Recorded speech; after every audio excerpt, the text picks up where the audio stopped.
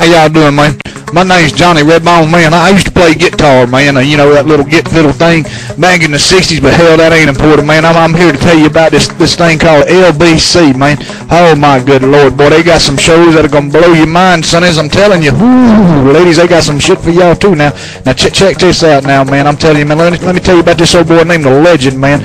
Ooh, he got some women on that show that's hotter than a two dollar pistol, boy. I tell you, man, this is oh my good lord, man. You need to check out Eardrum Theater, cause man, take it from Johnny Redbone.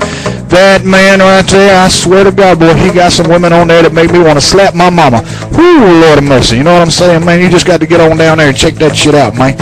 Then they got old Block 11, man, with that, that, that little unborn baby guy, that, that fetus alternative sound experience. Man, he got some music I ain't never heard of before, but I'm to tell you, boy, to get that old leg of tapping that foot of hitting that floor, make you want to slap your daddy and say, son, why didn't you teach me all this stuff when I was a youngin'? But, man, you need to check out old Fetus and Block 11 Alternative Sound Experience, man.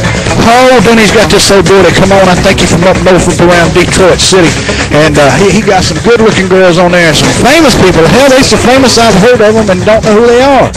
But, man, I'm telling you, that old Tommy Morris, man, Y'all need to check that out. I'm telling you right there, man. Oh, man, that's some good stuff right there. And you take it here, man, from Johnny Redbone, man.